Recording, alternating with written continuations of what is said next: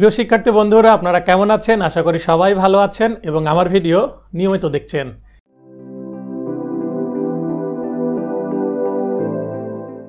এই ভিডিওতে আমি আলোচনা করব একজন অ্যাডভোকেট যদি আচরণবিধির কোনোটি লঙ্ঘন করেন, তাহলে তার বিরুদ্ধে প্রতিকার কী?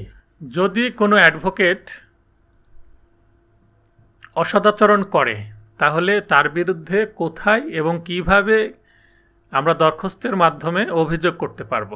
অ্যাডভোকেটের অসদাচরণের বিরুদ্ধে দরখাস্ত মুছাবিদা বা ড্রাফটিং এর একটি আদর্শ নমুনা বা ফরম্যাট।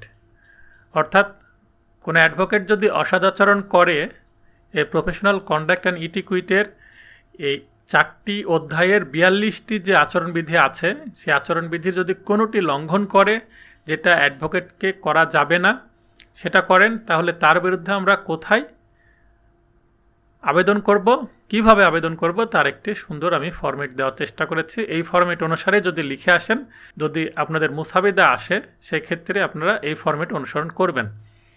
আর বাস্তব ক্ষেত্রে তো এটার প্রয়োগ আছেই। এভাবে লিখলেও কোনো সমস্যা নেই। এভাবে লিখলেও আপনার দরখাস্ত গ্রহণ করা হবে। তো বরাবর সচিব মহোদয়, সচিব বরাবর লিখতে হবে, Bangladesh bar council bar council ভবন, সাত শহীদ ক্যাপ্টেন মনসুর আলী সরণি শাহবাগ, ঢাকা। বিভিন্ন বইয়ে দেখবেন যে, এই যে ঠিকানা, এটা ভিন্ন ভিন্নভাবে দেওয়া আছে। কিন্তু এই সাত শহীদ ক্যাপ্টেন মনসুর আলী সরণি শাহবাগ, ঢাকা, এটা বার কাউন্সিলের যে ওয়েবসাইট, সেই ওয়েবসাইট থেকে আমি গ্রহণ করেছি। আপনাদেরকে আমি একটু পরে দেখিয়েও দিচ্ছি।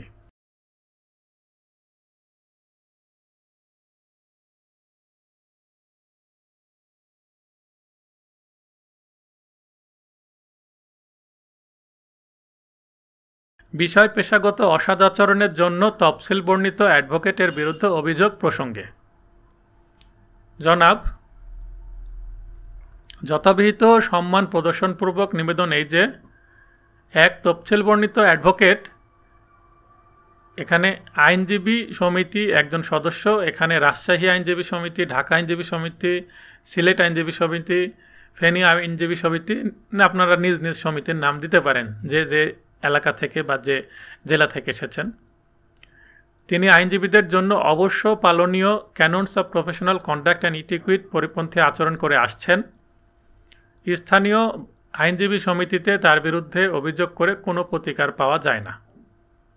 তাহলে প্রথমে আমরা বলে দিলাম তার পরিচয়, সংক্ষেপে এবং তিনি যে প্রফেশনাল কন্ডাক্ট অ্যানিটিকুইটের যে ক্যানন্স আছে, সেগুলো পরিপন্থী কাজ করেন এবং তার কাজের বিরুদ্ধে স্থানীয় বারে আমরা অভিযোগ করেও কোনো প্রতিকার পাচ্ছি না। অর্থাৎ নিরুপায় হয়ে আপনার কাছে দরখাস্ত করছি, এটা আমরা বুঝিয়ে দিলাম। এবার দুই নম্বর পয়েন্টে প্রশ্নে উল্লেখিত যে ঘটনার বর্ণনা, সেটা আমরা সুন্দরভাবে সাজিয়ে দিয়ে দেব। এটা প্রশ্ন থেকেই নিব, অর্থাৎ কি ঘটনার মাধ্যমে বা কি কাজের মাধ্যমে বা কি কার্যবলের মাধ্যমে তিনি ইটিকুইট লঙ্ঘন করছেন, সেটা আমরা বলে দেব। এক বা একাধিক আচরণবিধিও তিনি লঙ্ঘন করতে পারেন, সেটা আমরা এখানে বর্ণনা করে দেব।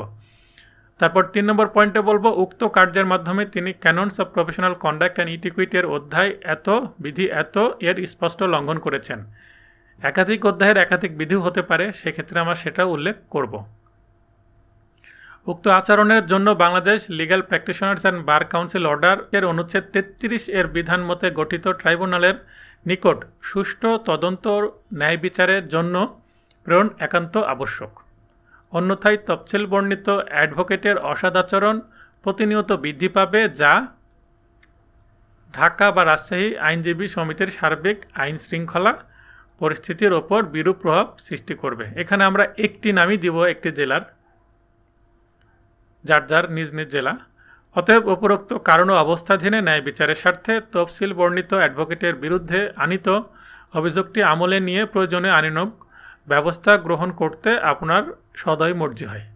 দরখাস্ত শেষ। এবার নিবেদক যিনি দরখাস্ত করছেন, দরখাস্তকারী স্বাক্ষর বা অভিযোগকারী স্বাক্ষর অভিযোগকারীর নাম এবং অভিযোগকারীর বিস্তারিত ঠিকানা। এখানে একজন অ্যাডভোকেটও অভিযোগকারী হতে পারেন, এই দরখাস্ত লিখতে পারেন অথবা কোনো সাধারণ ব্যক্তিও, সংক্ষুব্ধ ব্যক্তি যার ক্ষতি হয়েছে ওই অ্যাডভোকেটের মাধ্যমে, তিনিও আবেদন করতে পারেন।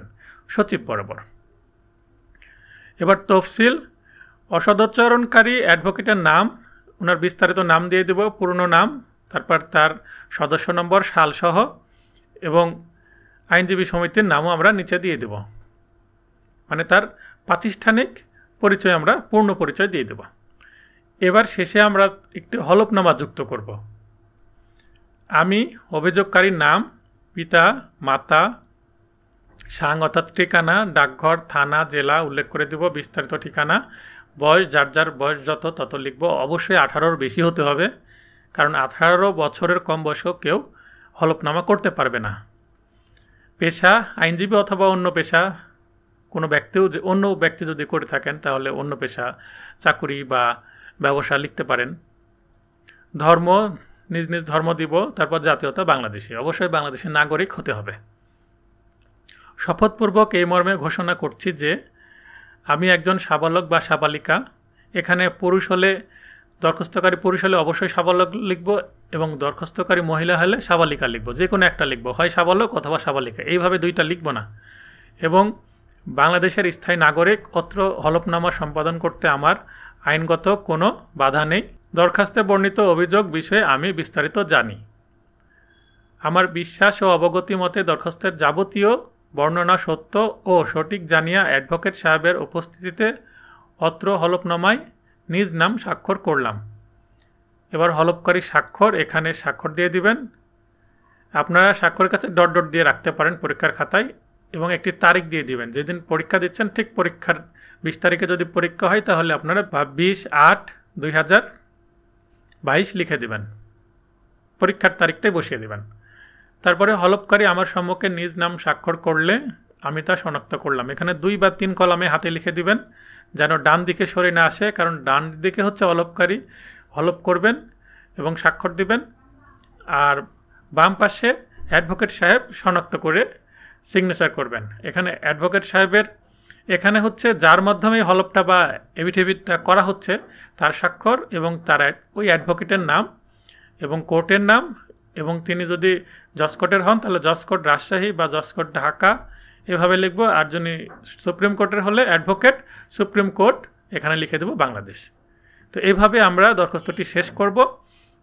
মনে রাখবেন, এখানে যে অ্যাডভোকেটের স্বাক্ষর, সেটা অবশ্যই দরখাস্তকারীর যে অ্যাডভোকেট হয়, সেই অ্যাডভোকেট এবং এই অ্যাডভোকেট কিন্তু অবশ্যই ভিন্ন হবে। কারণ নিজে হলপ করলে তিনি নিজের হলপের কিন্তু শনাক্তকারী হতে পারেন না। তাই এই অ্যাডভোকেট আর এই অ্যাডভোকেট অবশ্যই ভিন্ন ব্যক্তি হবেন। একজন অ্যাডভোকেট আচরণবিধির কোনোটি লঙ্ঘন করলে একটি আদর্শ ফরম্যাট আপনাদেরকে দেখিয়ে দিলাম। সেই আদর্শ ফরম্যাটের মাধ্যমে আপনারা যে কেউ ব্যক্তি পরীক্ষার খাতাতে তো আপনাদের প্রয়োজন হবে এটা এবং বাস্তব জীবনেও এটা আপনার প্রয়োগ করতে পারবেন। মোসাফিদার মধ্যে আমি যে বার কাউন্সিলের ঠিকানা দেখিয়েছি, সেটা বর্তমান ঠিকানা, অথেন্টিক ঠিকানা, যেহেতু বার কাউন্সিলের স্থায়ী একটি ভবন হয়ে গেছে। তো আশা করছি আগামী একশো বছরেও এই ভবন অর্থাৎ এই ঠিকানা পরিবর্তন হবে না।